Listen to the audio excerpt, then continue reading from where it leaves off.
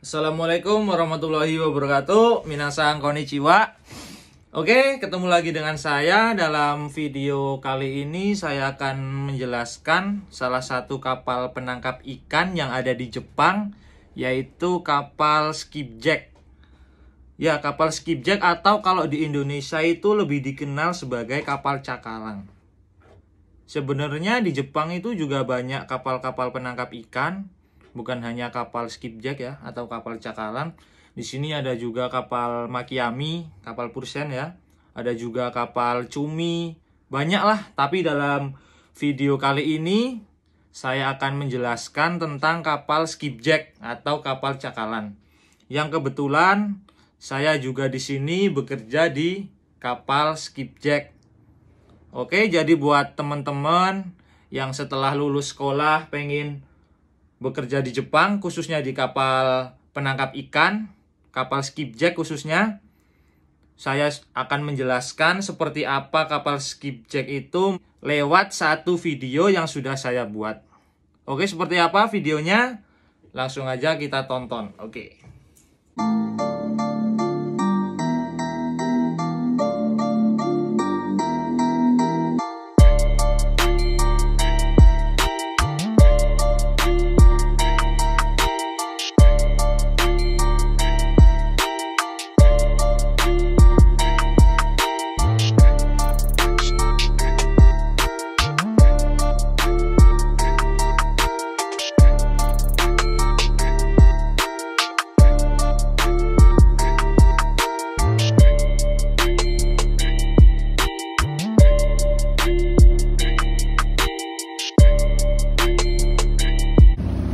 Oke teman-teman ini ada satu kapal skipjack ya Seperti ini. Dia tidak terlalu besar. Dia didesain seperti ini Ramping dan kecil Agar dapat melaju dengan cepat. Karena nanti kapal skipjack ini di laut mencari gerombolan ikan.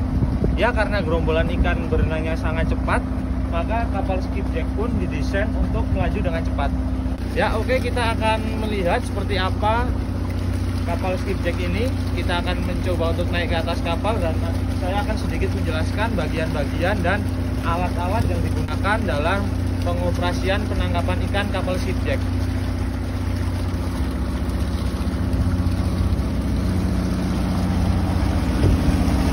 Oke, kita mulai dari bagian depan.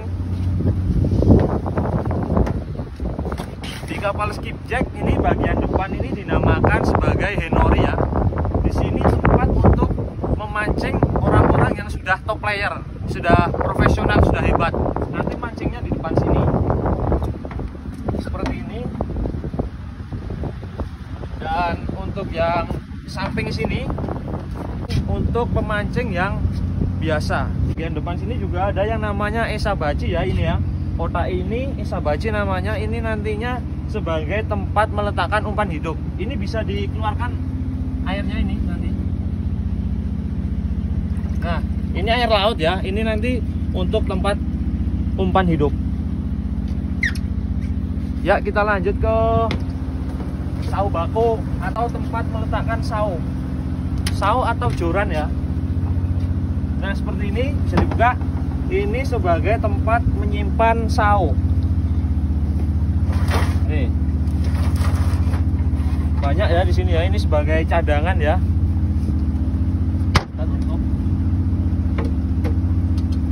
ada juga ini kayoge kita menuju ke kayoge nah ini yang namanya kayoge ya. Tempat untuk menaruh umpan sebelum nanti kita lempar. Di sini juga ada nanti yang namanya esanage atau orang yang bertugas melempar umpan nantinya. Jadi ini nanti esanya ini dilempar ke laut ke gerombolan ikan. Oke, jadi kapal skipjack ini nanti memancing gerombolan ikan katsuo atau ikan tongkol. Kalau di Indonesia disebutnya ikan tongkol ya. Nanti kita mancingnya menggunakan ini. Ini alat pancingnya. Alat pancingnya itu seperti ini. Ini namanya sao ya.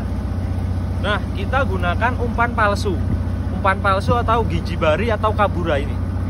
Nah kan banyak orang yang penasaran kenapa ikannya bisa langsung lepas ya tanpa harus kita lepas menggunakan tangan. Jadi ini karena kita menggunakan umpan palsu yang tidak ada kail baliknya. Jadi ini rata tidak ada kail baliknya. Jadi dengan sedikit hentakan nanti sedikit hentakan ikan pun akan otomatis lepas. Oke nanti kalau ikannya sudah tidak mau makan menggunakan umpan buatan kita pakainya umpan hidup ya. Kita pakainya esasuri.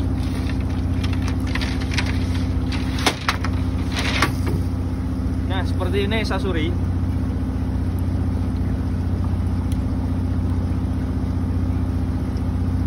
Ini gunakan esasuri ya. Ini.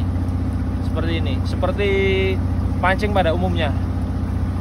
Ini nanti esa suri ini kita kaitkan ke umpan hidup oke saya akan mempraktekkan.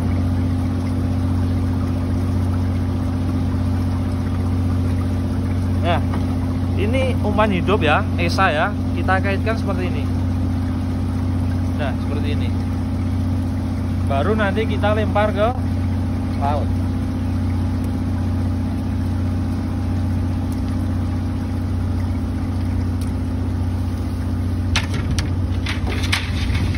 Oke lanjut ke deck atau donoma?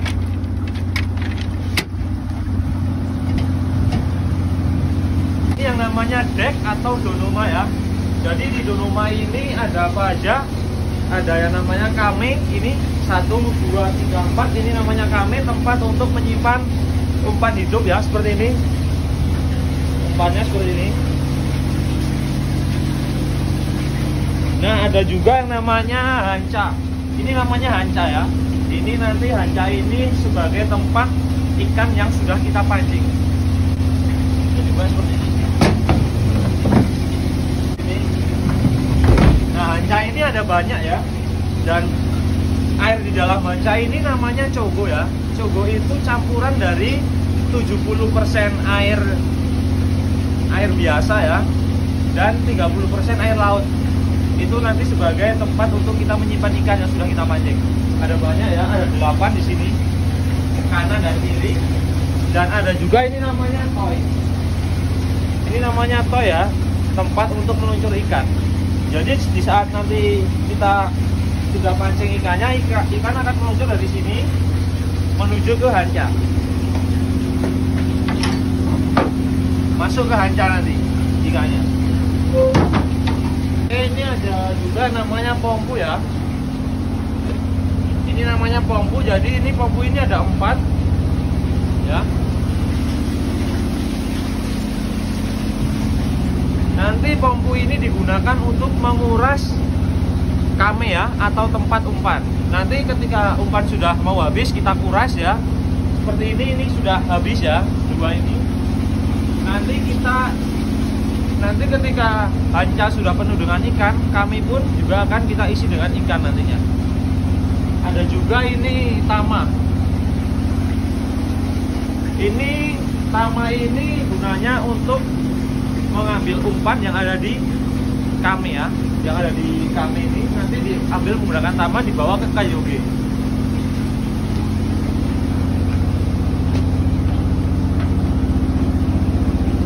Oke di sini juga ada yang namanya kobea atau ban berjalan ini. Yang hitam ini namanya kobea ya. Ini nanti bisa putar ya ke depan.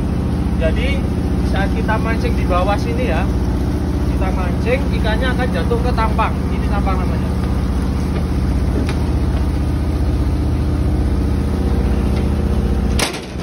Nah, ini tampang. Kita mancingnya menggunakan ini.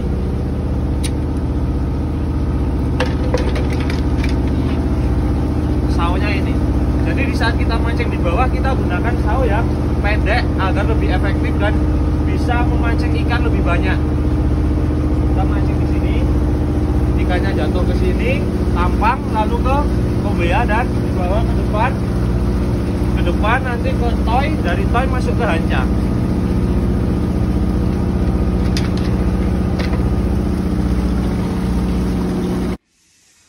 Oke, gimana guys? Sudah nonton videonya? Jadi, kira-kira seperti itu uh, penjelasan singkat mengenai kapal skipjack. Saya tidak sebutkan semuanya, saya tidak jelaskan semuanya, hanya bagian-bagian yang tertentu ya, bagian-bagian yang penting saja. Dan kalau ada yang mau ditanyakan, silahkan tanyakan lewat kolom komentar. Terima kasih buat yang sudah menonton. Jangan lupa like, komen, dan subscribe. Dan share ke teman-teman kalian. Dan semoga video ini bermanfaat dan menambah pengetahuan khususnya di bidang perikanan. Terima kasih. Wassalamualaikum warahmatullahi wabarakatuh.